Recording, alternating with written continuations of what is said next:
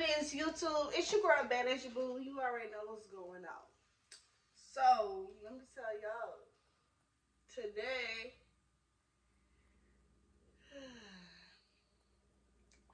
today is a highly requested video. Um, I wasn't sure if I really wanted to do this video or not because it's a very touching moment. Every time I speak on it, it's like I really get teary-eyed. So, bear with me and hopefully we get through this little story time. So, exactly what I said. I'm coming to y'all with the story time. By the title. By the title, y'all. Okay. Let me just stop going around the bush. Okay, so if anybody don't know, my last serious boyfriend that I was in my happy home with was um, DJ Ghost. His name was Hector Santos, and he stayed in Miami.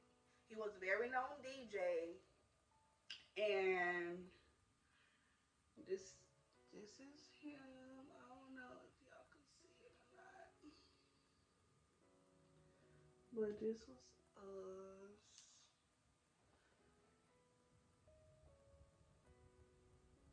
all this stuff. And let me tell y'all. This have this this I'm try not to cry. This could be like I don't even know what to call it. This was like a real eye opener for me. Yeah, I do not want to cry, y'all.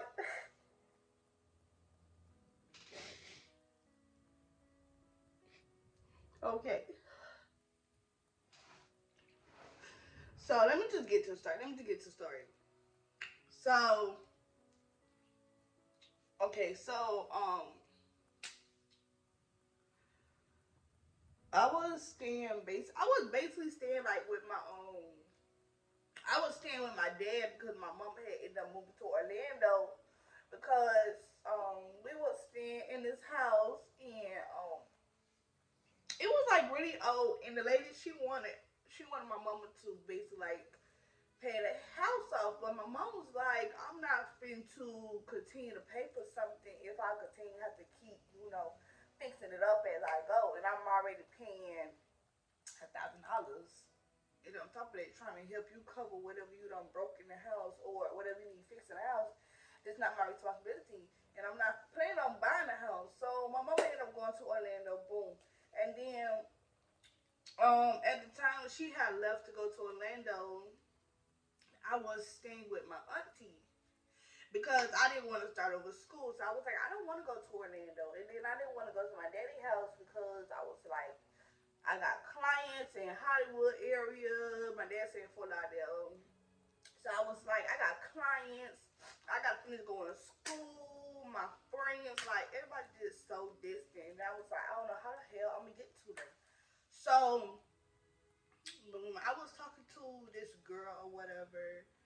I don't want to say her name, but I was talking to this girl, and long story short, you know, stuff was going down the hill, and Ghost Hector, he had hit me up in my DMs when I did have a Facebook at the time. And I wish I had my Facebook still. I could have showed y'all the messages. But he basically was coming to me basically on like on some promoting stuff because he was a known DJ. He was a known DJ and he had this team that always behind him when he go out and party and DJ. They get a party lit. Run that shit! So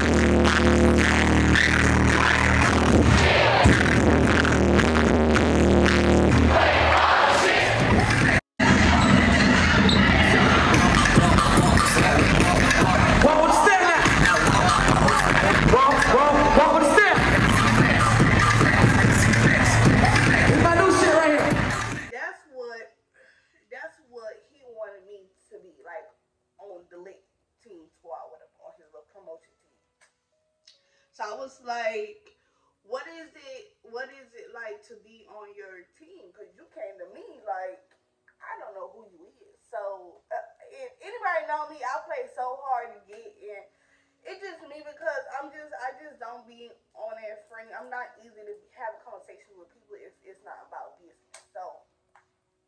my DMs, like on some promoting stuff or whatever. And I was like, sure, what I gotta do. So he was like, all right, when I come out, when we go out to parties, you know, your job is to basically, you know, get the party lit. Okay, everybody doing their own thing while we out partying stuff, we promoting and stuff at the same time. We basically put on a brand for Team L-I-V-E, as you can see. So,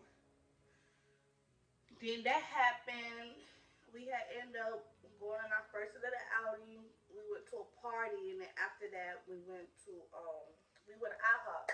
We went to IHOP, we always just talking, talking, talking, or whatever, just laughing and talking, playing around. It was the boys, and it was, um, it was the boys, and I think it was my sister Jay or Nata. I don't know who was with me, but I was with one of the girls or whatever that I knew, and um,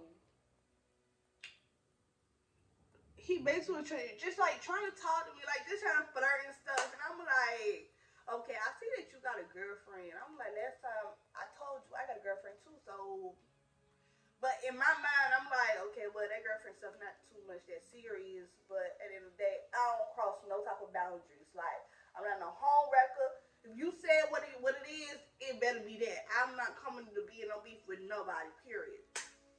So, as time go on and on, and as me being the new girl on the team or whatever, and I didn't know he liked me. I really didn't. I didn't know who a DJ Ghost was. I didn't know. I was. I didn't even know I was even going to his parties and he was the DJ. I was like, dang, that party was lit. It was like, yeah, that DJ Ghost. His party's always lit. I'm like, who's a DJ Ghost?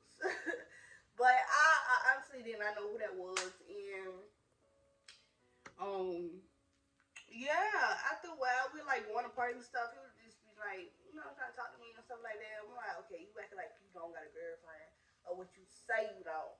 But I was like, whatever. So it just came to a point that, you know, I guess he just liked my vibe, you know.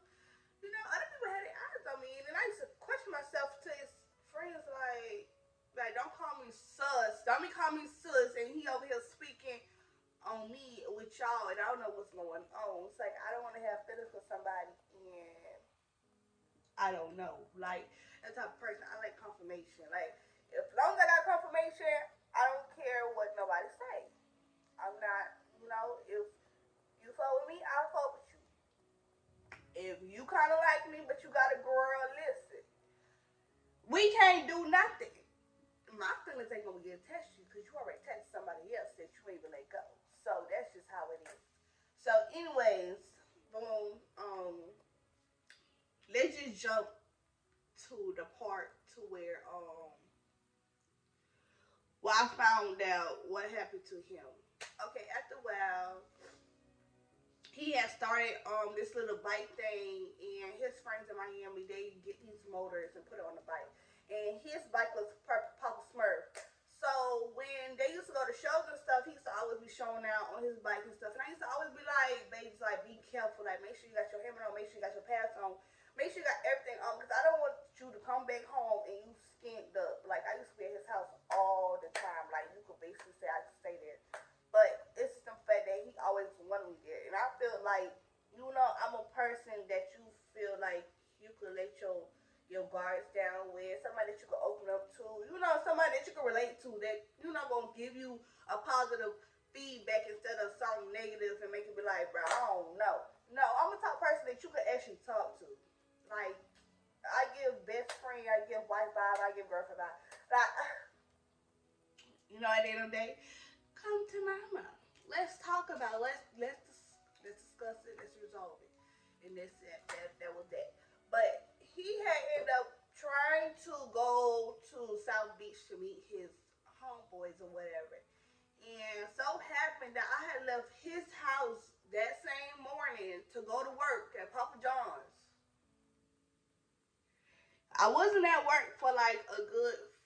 I probably was at work for like, mm, I would say about fifty minutes or like an hour.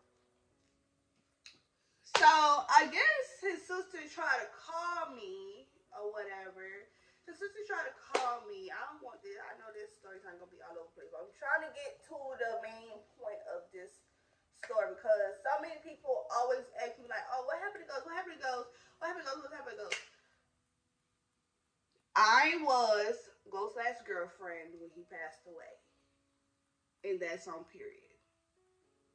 That's on period. You got something to say? You better watch your mouth, and on period. But I had went to work or whatever, and I left his house. Mom, y'all, you know, gotta do do, leave the house, go to work, boom. So he's he. I don't think he told me he was.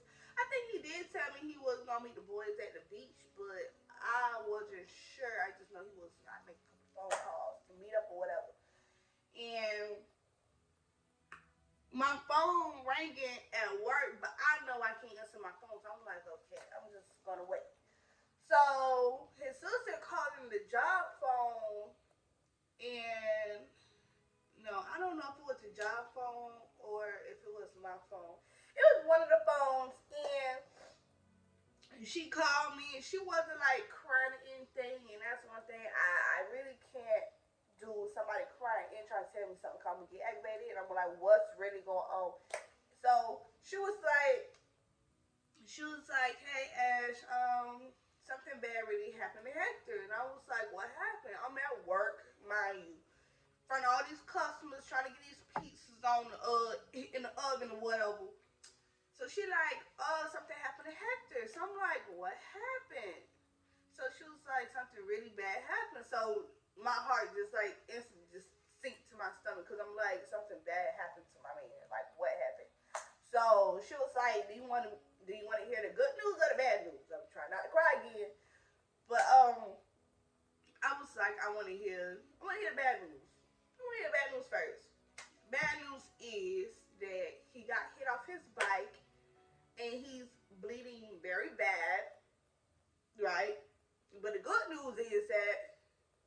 Still breathing.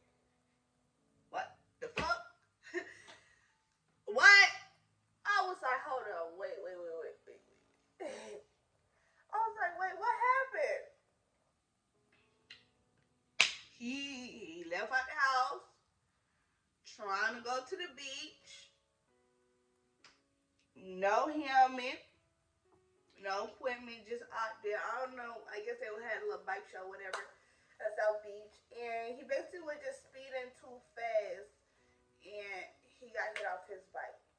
He was brain dead and he had to be airlifted. But by the time I had registered that in my head, I just I called my godmom because she's like close to the manager. She's like basically one of the managers. So I called her and I'm like, something happened to Ghost and I'm finna get ready to leave. So um so um she was like, alright, don't worry about it. So while I'm telling her that my manager talked about something, oh, if you leave, you will have to bring a doctor's note. A doctor's note? Bitch, my motherfucking boyfriend might be motherfucking dead. Like, what the fuck is you talking about? So I was just all back man. So I was like, in my head, I was like, bitch, I ain't come back to this motherfucking job. Like, bitch, you just try me. That that would have been your baby mama or somebody, even though you know we ain't had no kids, but that that would have been somebody that you really love. And it's a it's a family emergency. Like, don't don't don't do that. Don't take my kindness for weakness when all I do is be dedicated. But boom, I had left there. I went to the mama house, pick up the sister, and a, I think I picked up the sister and a cousin or whatever. And we had went to the trauma center. The yeah, the trauma center. And everybody was there. Everybody crying and stuff, crying and stuff. And I'm like, in my heart, I'm just make, I'm just like, I just hope he okay. I hope he okay. I hope he okay. I hope he okay. I hope he okay. I'm not trying to go all about anybody crying because they ain't gonna do nothing but make me feel like something really bad happened to him, and I'm trying to be positive about the whole thing the whole time. So when I get there, everybody falling down, everybody crying, everybody sad. So I'm like, I just want to see him. Like I don't, I'm not even, I'm not crying at the moment, but it's like, was shaking on the inside. But it's like, it's like, okay, you, you leave. You leave. And then these people going to just have the high most to say while we just started talking. I almost about to hit a year in our relationship. And all these people that started talking made me seem like basically I'm a nobody. Like, and that's one thing I don't I don't do. If I know it's real, it's real. But we got to the trauma center, everybody crying again. So the people finally had to let me in because they had to let the um, last group leave out. So when I had came inside, oh, excuse me.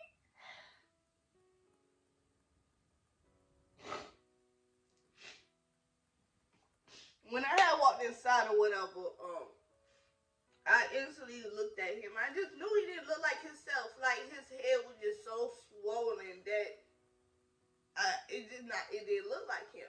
So the first thing I automatically did was I, I felt all over his body. I rubbed his legs down and I started praying. As soon as I started praying, I closed my eyes and I swear to God, I heard the machine start that beeping after they just told me that he's on a breathing machine the machine started beeping as if he came back alive. So once that happened, the people, the nurses or whatever, they started panicking because the mama, she next to him, she crying or whatever. She just like, she just crying, going crazy, going crazy. And you know, in my heart, just feel like, you know, just pray my situation because prayer is so strong. Prayer is serious. And I tell everybody, if you ever going through something, just pray. Like, just pray you just never know. And I just feel like you cannot, you cannot just give up like that.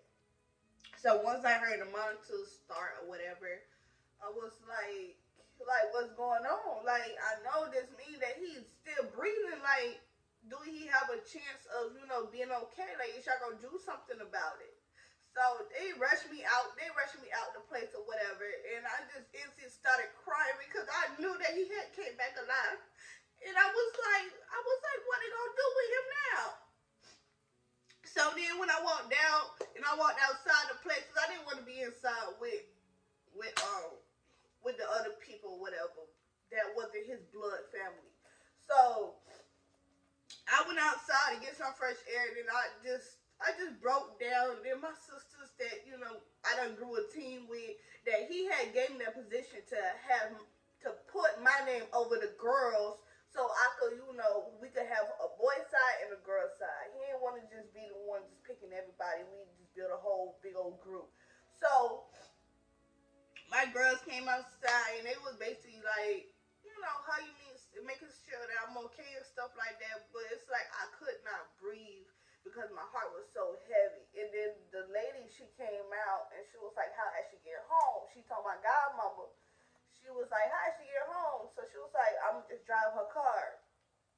So then when I'm trying to walk away or whatever, and they like, make sure I'm okay, make sure I'm okay.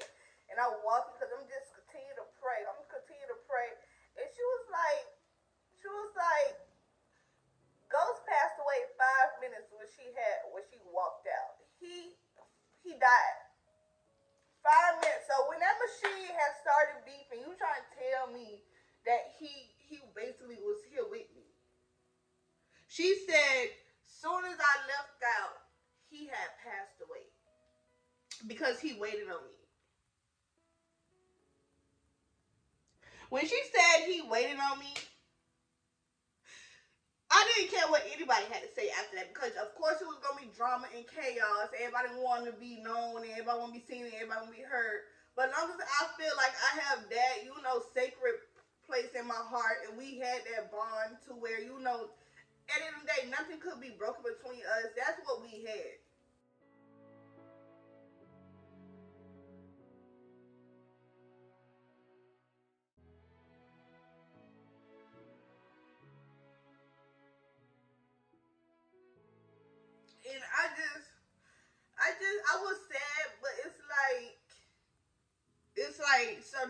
Know that his spirit will always be with me.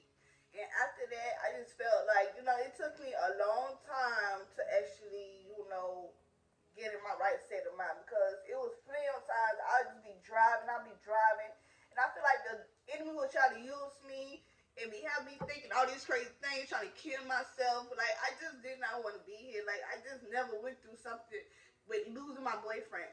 How you come from sleeping with somebody and then waking up, going to work, and now they're not at a regular hospital.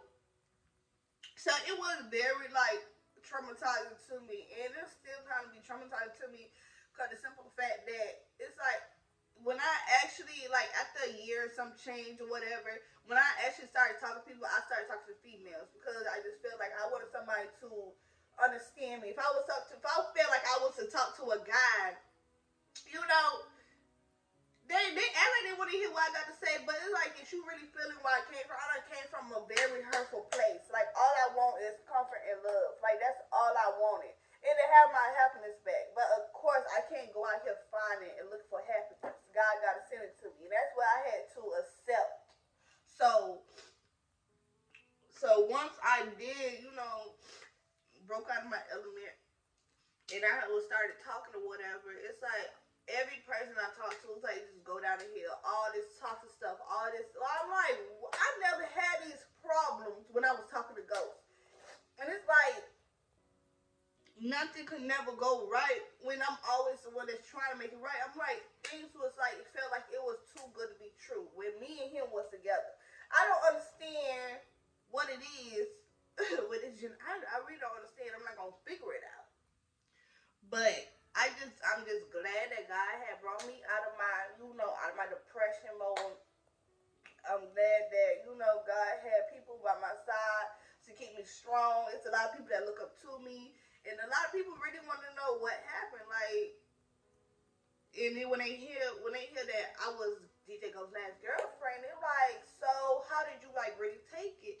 Like that, it really. I'm the type of person I hold stuff in. I hold stuff in. These I hold stuff in, or I talk to people that you know I'm close around. And it's like for the people that actually knew him longer or whatever, they just felt like I didn't have to care in the world. I'm not a drama problematic person. So I'm not gonna be around people that's try trying to hear me out, but at the end of the day, oh, actually words don't really matter. So what's the point of talking? So that's type of person. If you if you know what was real, then there's nothing to speak on. So when I felt like you know I don't found a happy place in my heart, I did visit his little grave site or whatever, and I had a conversation with him because I was like, I was like, I really think this is the one. Not saying this is the one, but I really think like you know, I want to like just let myself go and figure out what's next for me, and that's it. And it's like when I did that, I felt like a burden lifted off my chest or whatever. It's like, okay, you could go, but I just feel like he still was continuing to watch over me. He still continued to watch over me. Every toxic relationship I done been through, I done been through so much not even so much. I done been through two toxic relationships. Two toxic relationships. And I'm trying to figure out like what is it? Like maybe maybe God just don't want me to be with nobody. I done came to conclusion that I just have to pray and I guess just be patient because life is too short. And I done been through that trauma when I was young. My mama's birthday was the next day. This was March And I just really hope that I told this story or whatever. I, I, I don't know. I know, I know I was all over the place. I was trying to remember like it was, but y'all just like, comment, subscribe to this video, and please keep me in your prayers. I am doing fine. I'm, I'm doing fine. Anybody else, I just wish that, you know, y'all, y'all pray for y'all loved ones. Please don't take nobody counters for weakness. If you love somebody, you love somebody. And continue to pray for that person because you just never know when they last day or when your last day. Life is too short and it's too precious to be taken away from you. So please be smart about your decisions. Please please, please be careful with your surroundings and the people that you be around. And that's all that I gotta say for this camera pump off and turn off again. Thank you guys for watching this video. Be sure to check out my other videos and my other clips. Not my other clips. I'm gonna do some the place. Be sure to check out my other videos and like, comment, subscribe. Please show some love. I'll show some love back. What's on my tongue? My show. Please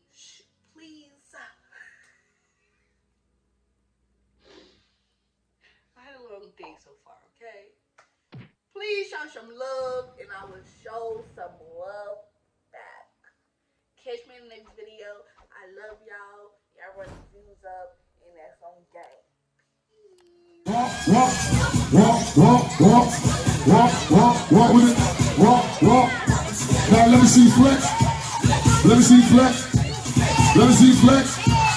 Let me see. Come on. Walk.